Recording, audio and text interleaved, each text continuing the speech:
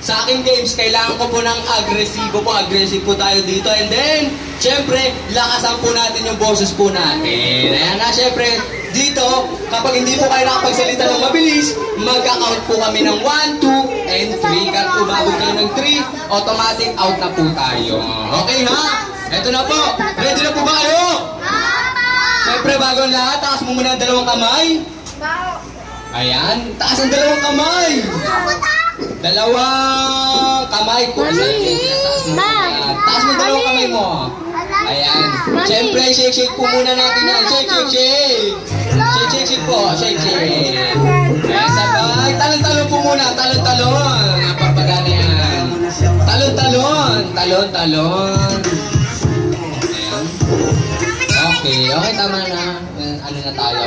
Ngayon na, mag-out na si Kuya Cloud. Game na tayo dito. Bilisan po natin ha. One, two, three, aso!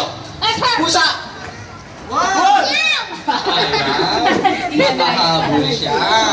Ayan, dapat ganun po kabilis. Ulitin natin.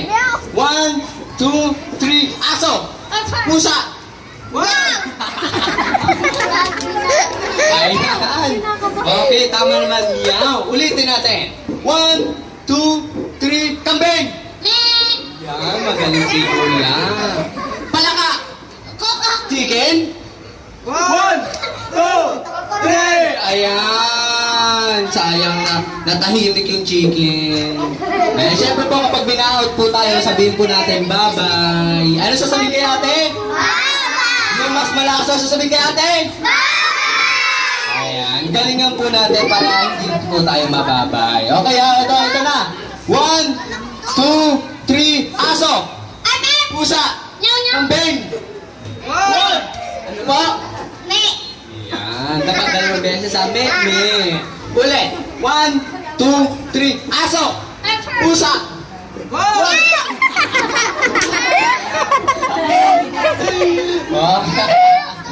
Okay, okay, okay na po yun. Na, nakikita ko si ate kung paano siya na ano. Okay, game. One, two, three, aso! Pusa! Manok! Ah, galing ha. One, two, three, aso! Palaka! Chicken! One! Two! Kambing! One! Ano po? Hindi. One, two, three, aso! Pusa! Dog! One! Aso! Kambing! One! Palaka! Chicken! One!